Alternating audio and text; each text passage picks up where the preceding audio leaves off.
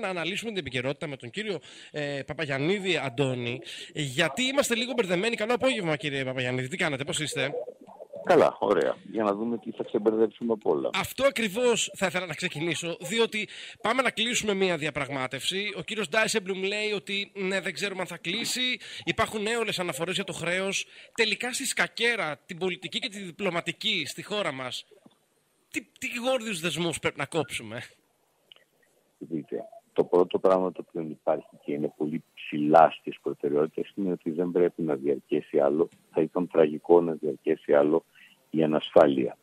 Η ανασφάλεια έχει δύο πτυχές. Το πρώτο είναι ότι χρειάζονται παράδες, δηλαδή πρέπει το πρόγραμμα το οποίο είναι το πολύ βαρύ πρόγραμμα που πάμε να εκτελέσουμε να χρηματοδοτηθεί. Η καθυστέρηση της χρηματοδότησής του, το γνωστό να πάρουμε τα 5, δεν θυμάμαι ναι. πόσα δισεκατομμύρια, αλλά κυρίως να έρθουν στην Ελλάδα και άλλοι πόροι από τα λεγόμενα κέρδη των Ευρωπαϊκών Κεντρικών Τραπεζών και της Ευρωπαϊκής Κεντρικής Τράπεζας της ίδιας από τα παλιά ομόλογα που είχαν αγοράσει, δηλαδή να έρθει χρήμα στην Ελλάδα. Πρώτον για να πληρώσουμε το καλοκαίρι, τον Ιούλιο, τα πολύ ψηλά εναπομένοντα χρέη μας προς το Διεθνές Νομισματικό Ταμείο και δεύτερον για να μπει στην αγορά χρήμα. Η κυβέρνηση του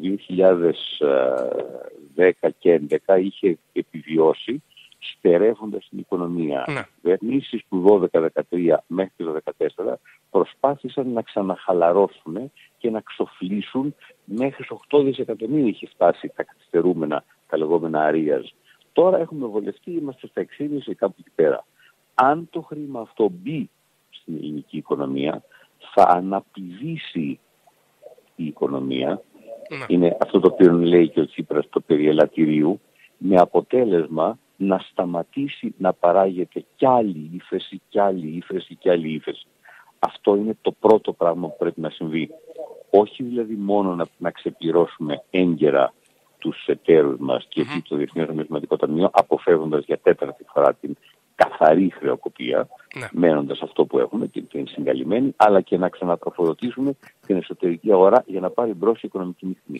Το δεύτερο, το δεύτερο που δεν είναι αμεληταίο αλλά δεν είναι πρωταρχικό είναι επιτέλους οι συνεχιζόμενες υποσχέσεις των εταίρων δόθηκαν για πρώτη φορά το 12, ξαναδόθηκαν το καλοκαίρι, ξαναδίνονται τώρα περί ελάφρυνσης του χρέους, να υλοποιηθούν γιατί όχι, και εδώ ο Σόιμπλε λέει μια αλήθεια, γιατί υπάρχει αδιέξοδο αύριο, μεθαύριο, αλλά γιατί πιστέψτε με, κανένας επενδυτής ξένος ή ηθαγενής, γιατί και οι Έλληνες πρέπει να επενδύσουμε ναι. ο καθένας στο επίπεδό του, στη χώρα μας. Αλλιώς δεν θα έρθει κανένας ξένος. Mm-hmm. Όμως κανείς δεν επενδύει σε μια χώρα που μετά από πέντε χρόνια, όσο λέει, μα μέχρι το 2021-2022 δεν έχετε πρόβλημα. Ναι αγάπη μου γλυκιά, αλλά για να γίνει μια επένδυση τραβάει τρία χρόνια. Θα ναι. βάλει κανείς εκατομμύρια, εκατοντάδες εκατομμύρια ή δισεκατομμύρια σε μια χώρα που θα έχει σε πέντε χρόνια βέβαιο αδιέξοδο.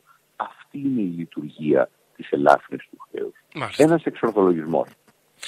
Αν δεν γίνει, θα πει ότι οι Ευρωπαίοι δεν πιστεύουν και οι εταίροι μας οι λεγόμενοι, εντός εισαγωγικών πάντα για μένα. Πάντα, πάντα, πάντα. Δανειστές mm-hmm. είναι έτσι. Mm-hmm. Δανειστές προς σάιλο πολλές φορές. Mm. Αν λοιπόν αυτοί δεν πιστέψουν στη χώρα που αποφάσισαν να λένε ότι διασώζουν, γιατί να πιστέψουν οι επενδυτές; Σωστό. Από την άλλη, βέβαια, κύριε Παπαγιαννίδη, πρέπει να πω ότι ο κύριος Σόιμπλε βασίστηκε προσφάτως και σε μία δήλωση του κύριου Βορφάκη, λέγοντας ότι στις αρχές διαπραγμάτευσης ότι και να μας κόψετε το χρέος τώρα, να μας το χαρίσετε δηλαδή, σε δύο με τρία χρόνια θα είμαστε στην ίδια κατάσταση. Και από την άλλη, δεν ξέρω αν αυτή η αιμονή με τον κόφτη δείχνει ένα έλλειμμα εμπιστοσύνης στην κυβέρνηση, αν η κυβέρνηση πιστεύει το πρόγραμμα το οποίο υπέγραψε. Λοιπόν, να ξεχωρίσουμε δύο πράγματα. Ναι. Ε, είμαστε στο ραδιόφωνο, δεν πρέπει να λέμε κακά λόγια, αλλά άλλο είναι οι βούρτες και άλλο είναι τα υπόλοιπα. Ε, Βαρουφάκης δεν είναι κάτι σοβαρό. Ή μάλλον ο Βαρουφάκης όπως εξελίχθηκε, γιατί ο Βαρουφάκης στο ξεκίνημά του έλεγε ενδιαφέροντα πράγματα. Ο Βαρουφάκης για να κερδίσει, για να ξεκλέψει λίγη προσοχή ή δυνατόν από τα πλανητικά, τα διεθνή μέσα ενημέρωσης, αν αυτά δεν γίνεται από τα ελληνικά broad, τα ναι. ευρύτερα μέσα ενημέρωσης. Αν και αυτά δεν γίνεται, θα πάει να μιλάει οπουδήποτε. Κάποτε θα καταλήξει η Μαρίκα Παλέστη, δηλαδή θα πηγαίνει στο κολονάκι, θα ανεβαίνει να κασώνει και θα λέει αλήθειες. Μπορεί να είναι αλήθειες, αλλά κανείς δεν θα ακούει γιατί θα είναι πλέον η Μαρίκα Παλέστη Βαρουφάκης. Ο Σόιμπλε λοιπόν θα μου επιτρέψετε να πω το ότι τι είπε ο Βαρουφάκης δεν είπε δεν έχει καμία απολύτως σημασία για να δικαιολογεί την έλλειψη ειλικρίνειας και εμπιστοσύνης των Ευρωπαίων. Ο Σόιμπλε ενδιαφέρεται για τα ψηφαλάκια των Γερμανών ψηφοφόρων το 2017. Δεν θέλει να χαλάσει τη σούπα των ανθρώπων, των ψηφοφόρων του. Γι' αυτό το λόγο κάνει ή δεν κάνει ό,τι κάνει. Ναι. Έτσι, τελεία έως εδώ. Τώρα, κατά τα άλλα, η ελληνική κυβέρνηση των περιώνυμο κόφτη, οι ελληνικές, ελληνικές κυβερνήσεις από το, από το 1974 και μετά, ποτέ με μικρές, πολύ μικρές περιόδους εξαίρεσης, ας πούμε όταν ήταν ο Αλέκος ο Παπαδόπουλος Υπουργός Οικονομικών, ας πούμε κάποια στιγμή το 2013 επί Στουρνάρα, επίστευαν τα στοιχεία τους και την πολιτική τους. Πάντοτε, ή μάλλον κατά κανόνα πλην αυτών των εξαιρέσεων, ακόμη και επί Κωνσταντίνου Καραμαλή που η δεξιά τον ιδαλματοποιεί, ακόμη και στα καλά σημεία της εποχής του Πανδρέου, πλην επαναλαμβάνω διαχείρισης Αλέκου Παπαδόπουλου, ναι. ε, οι ελληνικές κυβερνήσεις έλεγαν ψέματα στους πολίτες για να αρπάξουν την ψήφο τους και να πάμε λίγο παρακάτω. Αυτό συμβαίνει και τώρα. Και ναι. επειδή αντελήφθη η σημερινή κυβέρνηση ότι θα προσκρούσει πραγματικά πλέον σε παγόβουνο ο Τιτανικός, τον οποίο αυτή τη στιγμή διαχειρίζεται τούτη και όχι η άλλη κυβέρνηση, οποιαδήποτε άλλη κυβέρνηση, αποφάσισε να προτείνει κάτι το οποίο σούρνεται εδώ και πολλά χρόνια ένας αυτοματισμός. Αυτό είναι ο κόφτης. Που να μην μπορεί η κυβέρνηση να πει πω πω, δεν μπορώ να πάω να το περάσω από τη Βουλή ή θα πέσω. Κατάλαβα. Θα περικόπτονται κωδικοί του προπολογισμού και θα έρχεται μετά από καιρό η κυβέρνηση με ένα εξάμεινο περίπου, το φθινόπωρο είναι ο προπολογισμό, ενώ ο κόφτης είναι την προηγούμενη άνοιξη και θα λέει επειδή εγώ δεν συμφωνώ να περικοπούν όλες οι δαπάνες εξίσου, πλην άμυνας, πλην υγείας, αλλά πάνω σε όλες οι υπόλοιπες δαπάνες, δηλαδή να, να κοπούν μισθοί και συντάξεις, γιατί όταν λέμε δαπάνες, 80 κάτι είναι μισθοί και συντάξεις. Ναι. Όταν ακούει ο ακροατής να του λένε πρέπει να περικοπούν οι σπατάλες, πρέπει να, να περικοπούν οι ελαστικές δαπάνες, δεν υπάρχει κάτι τέτοιο μόνον μισθοί και συντάκτης θα περικόπτουν. Και θα έρχεται μετά η κυβέρνηση και θα λέει πάω τώρα στη Βουλή να αντικαταστήσω την περικοπή που έκανε ο κόφτης με μια αύξηση φόρου. Αν της βγαίνει. Μάλιστα. Αυτό είναι το σύστημα τα κόφτη. Αντιλα... βάρβαρο και θα δούμε πόσο αποτελεσματικό. Κύριε Παπαγιαννίδη, για να μην σας ε, κουράζω, γιατί ξέρω ότι σας απασχολώ, θεωρείτε ότι η κυβέρνηση αυτή τη στιγμή έχει αντιληφθεί πλήρως την κρισιμότητα της κατάστασης, γιατί υπάρχει μια έντονη κριτική, οι κοινωνικές ομάδες αντιδρούν, βλέπετε ότι ε, πολλοί θεωρούν ότι έχουμε φτάσει σε ένα αδιέξοδο. Ε, από την άλλη, είναι η αντιπολίτευση η οποία λέει θα ψηφίσω, δεν θα ψηφίσω φόρους, θα ψηφίσω όμως κάποιες διατάξεις ε, διαρθωτικού χαρακτήρα. Ε, Υπάρχει, είναι μονόδρομος η πολιτική αυτή που, που, που βιώνουμε, αυτό το ποτήρι που πίνουμε. Μήπως πρέπει να το πιούμε πιο γρήγορα, καθυστερούμε, το πίνουμε σε δόσεις αυτό το ποτήρι το πικρό; Ναι, αλλά αυτή η δόση σε ούλη μου είναι πολύ βαριά.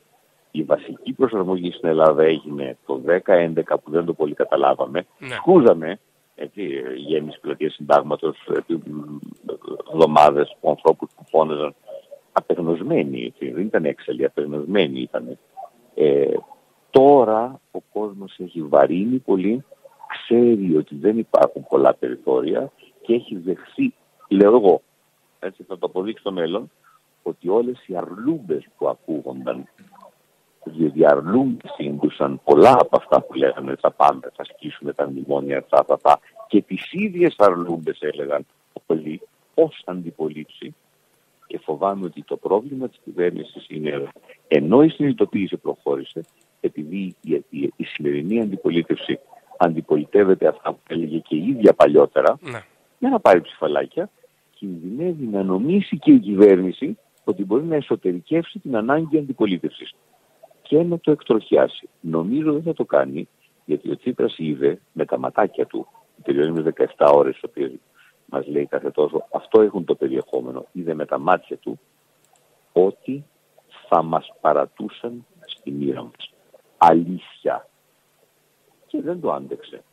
γι' αυτό άλλαξε και γι' αυτό, για μένα αυτό είναι το σημαντικότερο, σε αυτό θα κλείσω, αν μου επιτρέπετε. Παρακαλώ, παρακαλώ. Μίλησε για τις αυταπάτες, το παραδέχθηκε, είπε παιδιά, εμείς κυβέρνηση και εσείς λαός, ψηφοφόρος, βάθρος της εξουσίας, δεν είχαμε καταλάβει σωστά ούτε το διεθνές περιβάλλον, ούτε τους συσχετισμούς.